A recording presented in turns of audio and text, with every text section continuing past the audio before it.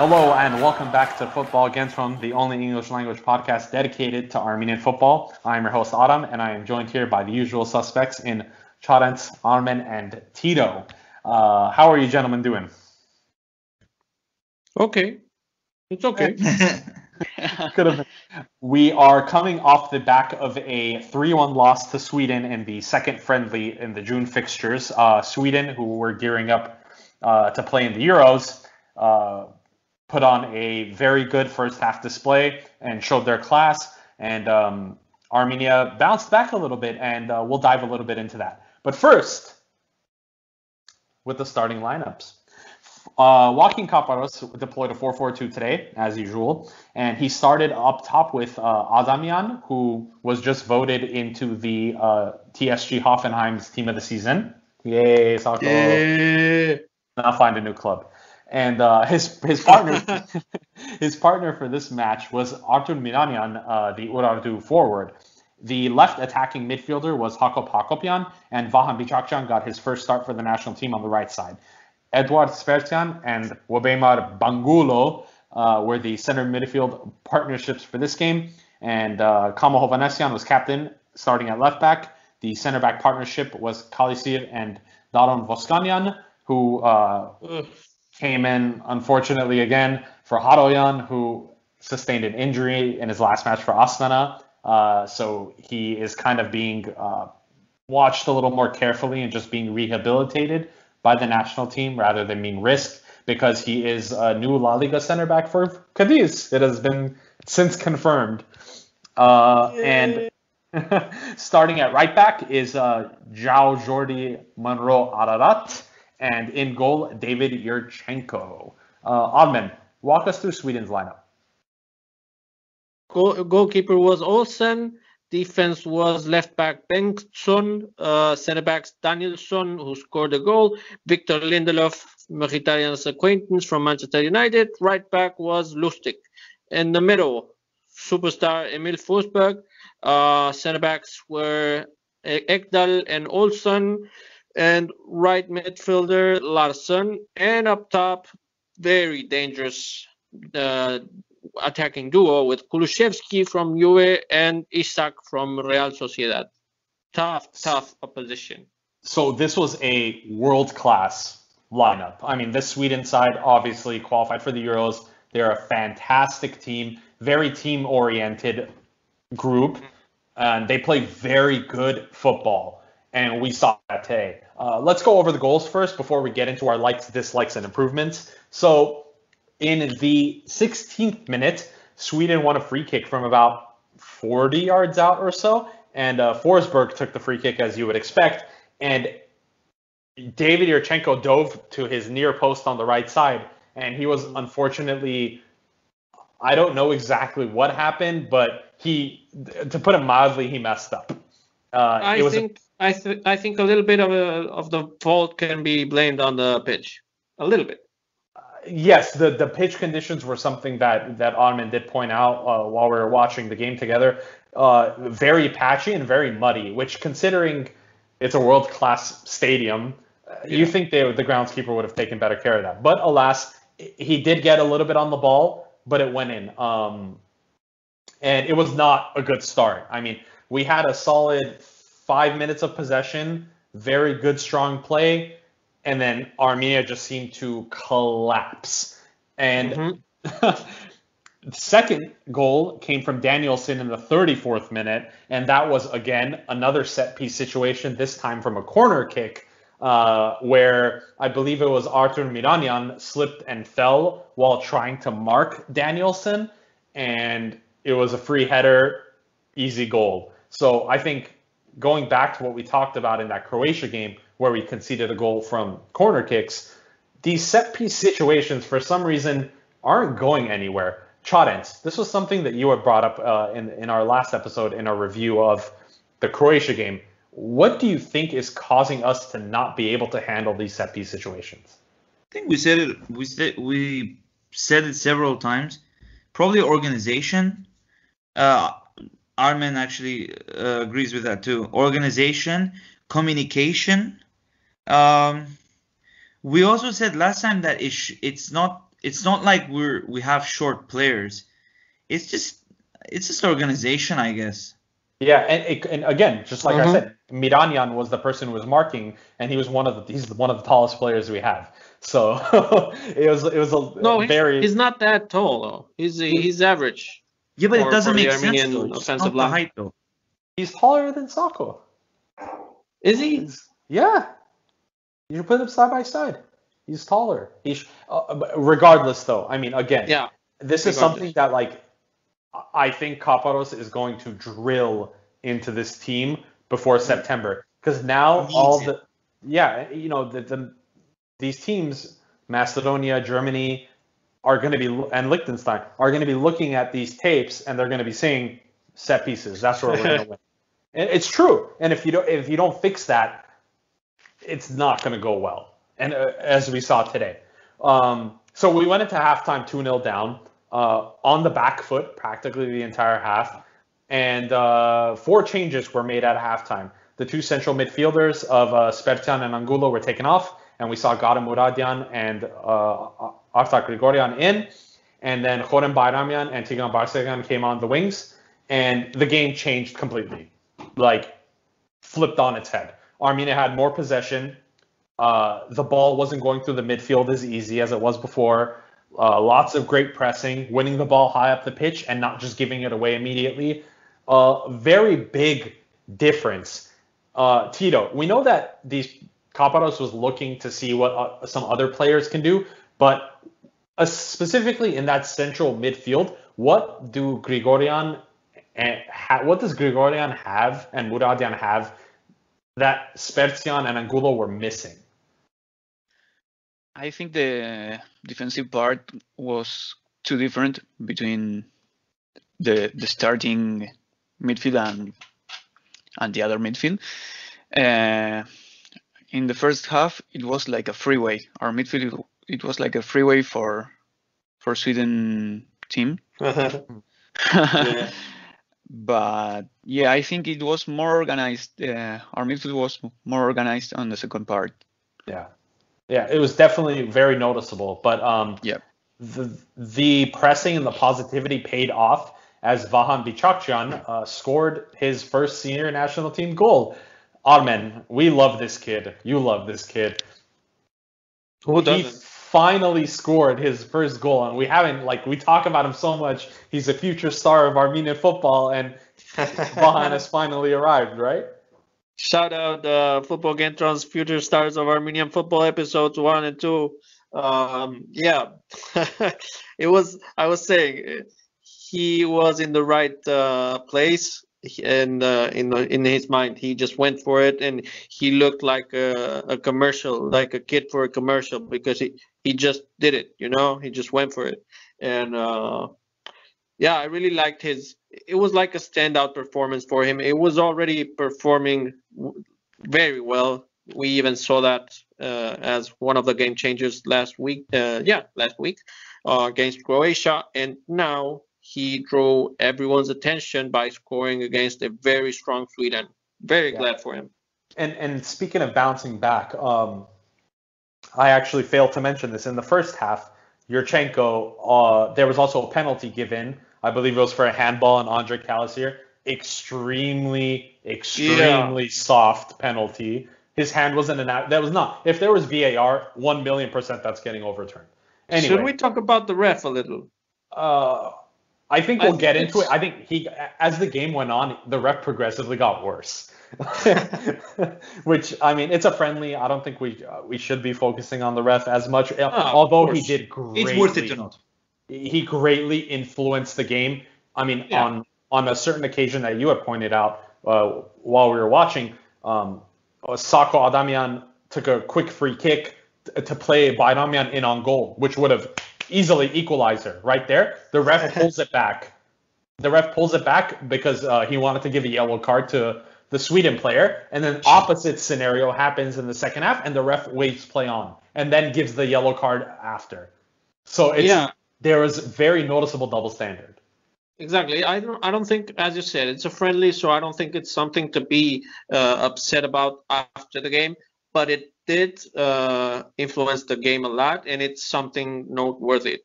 Yeah, definitely. Um, but Yurchenko looked much better in the second half. Um, he also got clattered into literally as the half, uh, the, the first half closed uh, by some idiotic like lunging of, of the Swedish forward. But uh, it was also a very good bounce back from Yurchenko considering how bad that first half went. Um, moving forward, the final goal of the game was scored by Berg in the 84th minute. Uh, very clinical finish and a fantastic through ball, uh, little chip uh, through through the through the defense, and I think it was what we saw in the replay. Voskanyan, Armen's favorite defender, Jesus, uh, kept. It's always him. He kept them on side, and a very cool finish, and that three-one from from what looked like was going to be an Armenia comeback. In all honesty, I mean, Barcelona was terrorizing them down that right wing for the entire second half. Um, but alas, our nine-game undefeated streak is over. Uh, but as Tito said, I mean, it's a friendly, but yeah. Yeah, I mean, it's a yeah. As as Tito said, better to get that loss out of your system now. So. Mm. Yeah, exactly. Well. Yeah. Um, so, gentlemen, we are going back to our uh, likes, dislikes, and improvements format that we did in the last episode. So, I am going to start with you, Armen. What is one thing that you liked from this match? Hmm, I have the dislike, but okay, if I have to draw one like, because there's always so many things to analyze, but one thing I did like, I guess, is yeah, how the team bounced back. Yeah, It, it's personality. It's personality and its mentality. Uh, Tito, what are your thoughts on the team's mentality in that second half? Uh, no, no, it, it's uh, it's something great about this team that we we had a lot of um, games that we started losing and the team didn't fall, uh, didn't Yeah. fall apart. Like maybe True. th- this happened to us. uh, I don't know, uh, a couple of years ago, and and it was completely different scenario. So Mhm. yeah, the the mentality, the personality when of a this team is completely different from previous years. Yeah, Yeah. when when a certain someone was on the pitch, right? Oh, when who? no, no, no, no, no. I, I, Uh, I'm not going there, don't go. even though I just did. You brought it up. Uh, okay, well, Uh, Chaudet, moving on, moving on, moving on. What is one thing that you liked that you saw from this match? I'm gonna add to what Tito said. Uh, it's our reaction is different. I like the fact that we we we keep we keep a consistent way of playing. And imagine if we actually improve it. How Yeah. much more we're going to keep using it. Okay, yeah, the opponents can learn our, you know, what we're trying to do, but it's not always that you you understand what your opponent eh, what what one particular team is trying to achieve. So Mhm. we, we're keeping a very consistent uh, style of play. We know what we're expecting, and we know we can expect better. And when we were losing two one, and after all the you know referee BS and these kind of things, we Mhm. still had the hope that we can score a goal because of the way we play. It Well- gives us a sense of uh, uh, satisfaction the way we're playing. Yeah, and, and speaking of that, do you think, um, and, and I'll leave, I'll open this up to all three of you. Uh, do you think Spertsyan is being used correctly within this style of play that Caparros is trying to achieve? Because he What started say, both games. At least today, uh, I don't think so. Okay. Yeah, that's I, I asked you guys if you remember, like at the start of the Yeah. uh, when Mhm. you know when I saw that he's playing at the start, I was I was confused why he is. Yeah, I think Well, he's the thing more is- uh, Mhm. an, an attacking player. Uh-huh. Yeah, Yeah, he's a I don't creative- it's- he's a creative mind, a creative mind, and of course, for me, the answer is no. Of course, he's not being used correctly because this system uh, wouldn't really apply to him in his current situation uh, because he needs way more practice, way better competition week in, week out, which he's not getting at the moment because he's uh, frozen out at Krasnodar. and that's one problem he needs to get out of the of the way. He should move, in my opinion. He needs to get out of Russia and get more Mhm. playing time. Uh, well, that's one. And second, he needs to improve his uh, upper body strength. He needs to improve his upper body mass because he's very tall for uh, a center midfielder, but he's just too skinny, man. And uh, another thing I would say about him is that, of course, it's not being used properly right now, but as, at least he is being used. At least he's like getting to know the teammates, getting to know proper world class opposition, and getting used to all of this. Yeah, he's settling into the environment that he's going to be uh, facing in September. Yeah, for, for the next decade or, or so. Well, decade, but yeah. Starting with September. Yeah, eh, so I, I think maybe starting right now isn't the right oh thing. yeah, definitely. But, But there is definitely more. Yeah, it's better than nothing, and he's getting the, the like you said, the hang of the hang of everything going on. Yeah, he Uh, needs to get that those tackles. He needs to receive a little heat to know what's what he will encounter in the future. Yeah, Tito, one positive takeaway from this match. One for- positive takeaway. I love our, our ah, I love our team. Uh, how our team presses. I love uh, Yeah. those kind of of teams, Mhm. and I think that's going to be a key for our game against Germany.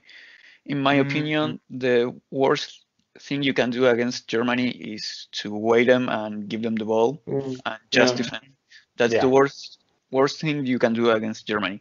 So if we continue pressing like this and with another players, of course, because not, not the ones that we saw on the first half, but for Mhm. example, Tico uh, pressing it's uh, a completely different thing. yeah, Yeah. it's a it, it's a threat to anyone really, and Yeah. uh, to any defense. And uh, I was gonna add to that because this those two games we just play those are friendlies. We're trying things out, and against Germany and Macedonia in September, we're gonna see a very different team, uh, Armenia team, of course, with everyone hopefully at their peak uh, in terms of rhythm and and fatigue and, and form. So it will be better. I Yeah, think it's a perfect time actually, if you think about it. Mentally, it's uh, it's Yeah. it's a very good time mentally because uh, and physically. what I think most seasons start in uh, August. I think most of them.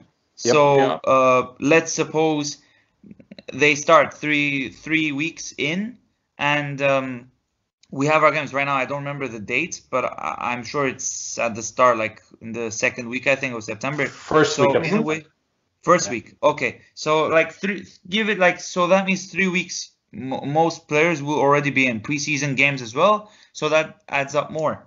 Uh, Mhm. mentally, they're all going to be ready. Now it's kind of a little bit of a drain at this It was point. Yeah, trying things Well, out. it- it's Ron. not an excuse. I'm not giving an excuse, but I No, think no, no. it's it's a ready it's a ready format.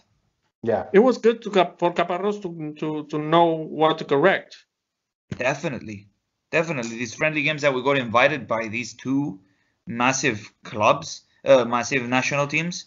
Apologies. Yeah, uh, I props think to the we're props to the FFA. Yeah. Yeah. It- Well- we're grateful for this. Yeah, it, these are friendlies that we've you know never seen before. We we have Mhm. never gotten high profile. I think it's just not.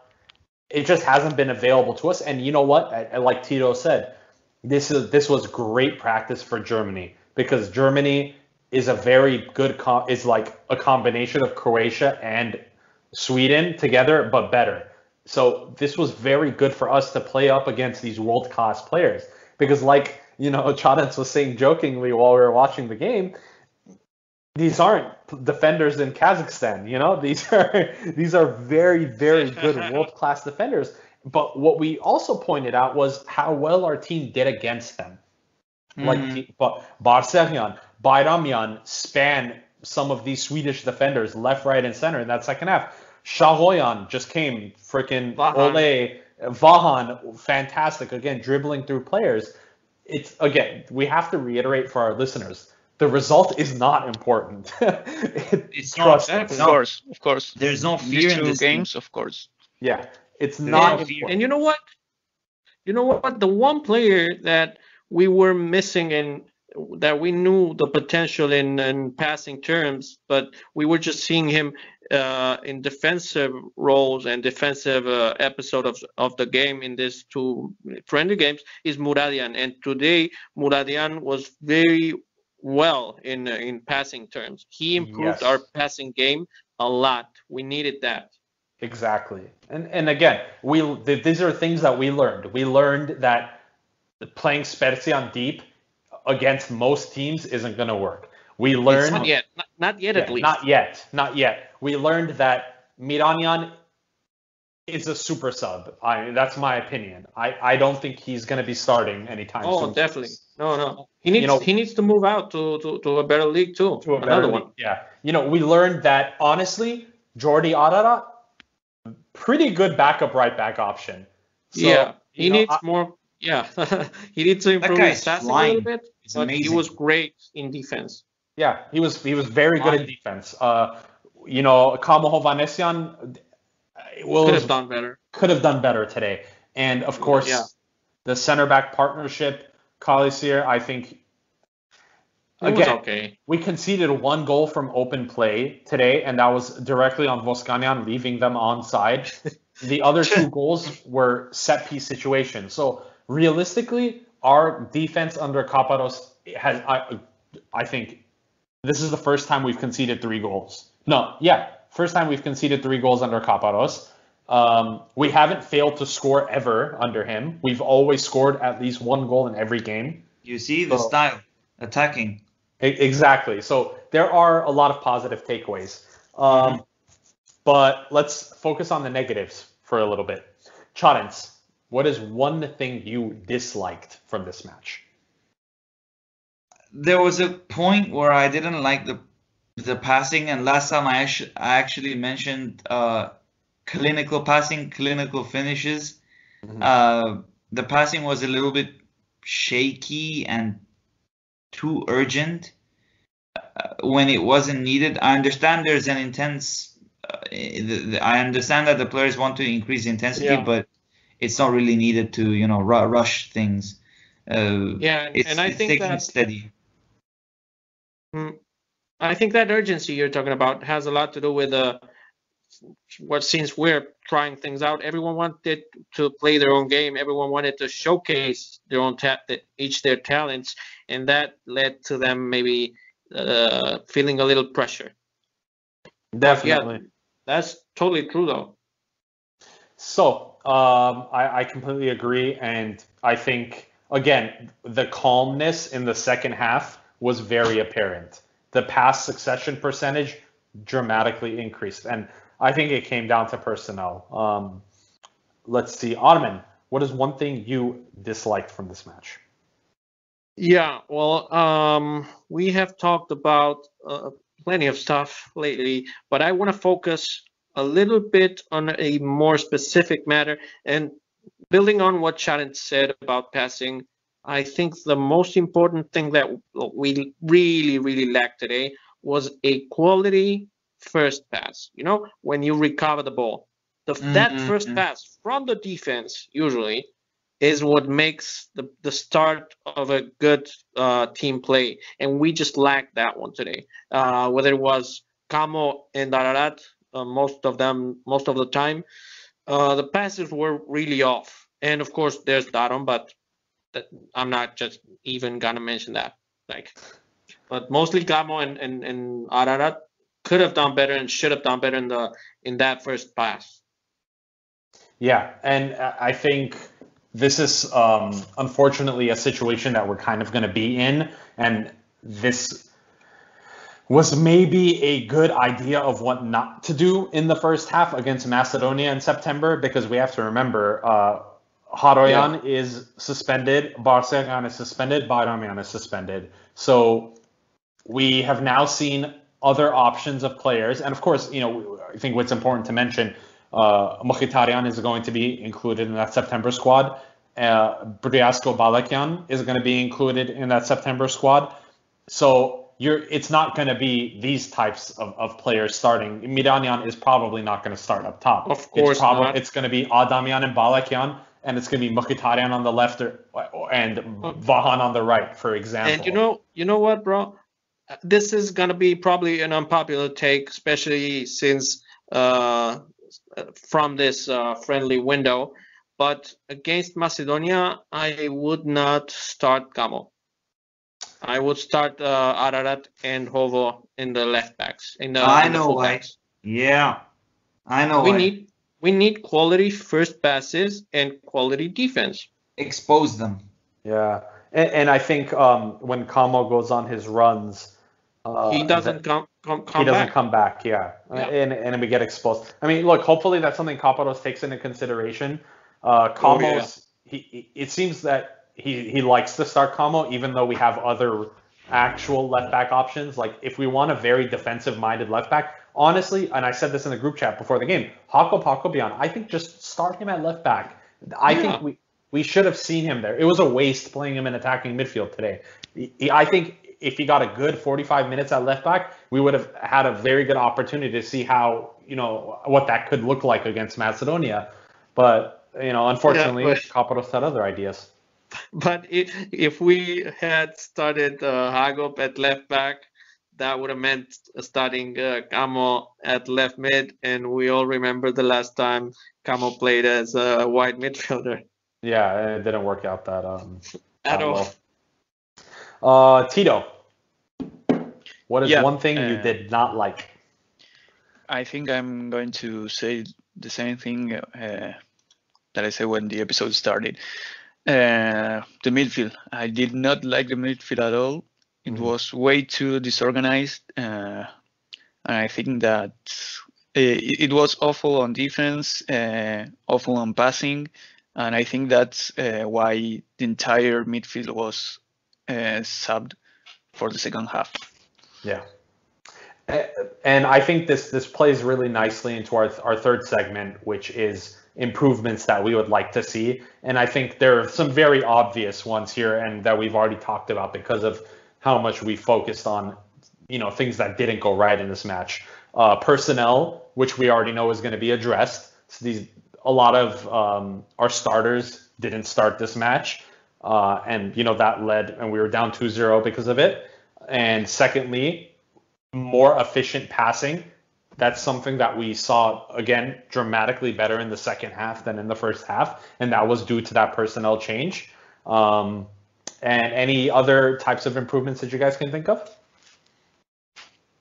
Um, Well, yeah, for the for the more experienced players, I I don't think we have seen a very um, mature uh, window. Uh, much to my dismay, and I understand that uh, as Caparros himself himself has said in press conferences that players like Horik Sako Tico uh, were very tired or very uh, rested and were not at their physical uh, primes, but still uh, they should have done overall better in terms of passing and just not losing their minds, you know? hmm Yeah, and and I think it's important that we remember and we, you know, understand that we just played two world class teams, and Yeah. we drew we drew up against the runners up of the last World Cup.